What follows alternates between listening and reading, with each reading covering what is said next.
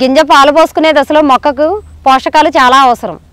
అందుకే ఈ దశలో ప్రకృతి వ్యవసాయ పద్ధతిలో పంచగవ్య పిచికారీ చేయడం ద్వారా మొక్కకు కావలసిన పోషకాలు సమృద్ధిగా అందించవచ్చు.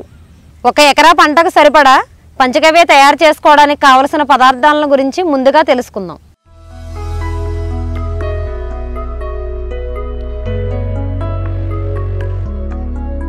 పంచగవ్యను మూడు దశలలో పంతొమ్మిది రోజుల వ్యవధిలో తయారు చేసుకోవాలి. మొదటి దశలో ఐదు కిలోల ఆవు పేడలో అర కేజీ ఆవు నెయ్యి వేసి బాగా కలియబెట్టాలి. ఇలా బాగా కలిపిన మిశ్రమాన్ని కుండలో వేసి గుడ్డతో కట్టి నాలుగు రోజుల పాటు మగ్గబెట్టాలి.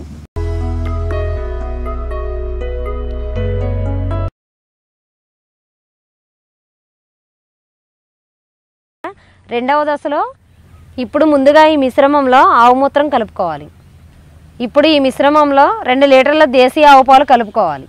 అలాగే రెండు లీటర్ల దేశీయ ఆవు పెరుగును కూడా ఈ మిశ్రమంలో కలుపుకోవాలి. అంతేకాకుండా ఈ మిశ్రమంలో మూడు లీటర్ల కళ్ళు మరియు మూడు లీటర్ల నీళ్ళు కలుపుకోవాలి. ఇప్పుడు మూడు లీటర్ల కొబ్బరి నీళ్ళను కూడా ఈ మిశ్రమంలో కలుపుకుందాం. ఇప్పుడు ఈ మిశ్రమంలో మెత్తగా చేసిన కేజీ నల్లబెల్లాన్ని కూడా కలుపుకోవాలి. ఇవన్నీ కలిపిన ఈ మిశ్రమాన్ని చేత్తో బాగా కలియ తిప్పాలి. ఇప్పుడు ఈ మిశ్రమంలో గుమ్మడికాయలోని గుజ్జును ఈ విధంగా మెత్తగా చేసుకొని ఈ మిశ్రమంలో కలుపుకోవాలి. చివరిగా బాగా మాగిన అరటిపళ్ళు ఒక డజను లేదా ఒక కిలో ఈ విధంగా మెత్తగా గుజ్జు చేసుకొని ఈ మిశ్రమంలో కలుపుకోవాలి. ఇవన్నీ కలిపిన తర్వాత ఈ మిశ్రమాన్ని చేత్తో బాగా కలియ తిప్పాలి. ఇప్పుడు ఈ మిశ్రమంపై పలుచని గుడ్డ కప్పి పదిహేను రోజుల పాటు మగ్గబెట్టుకోవాలి.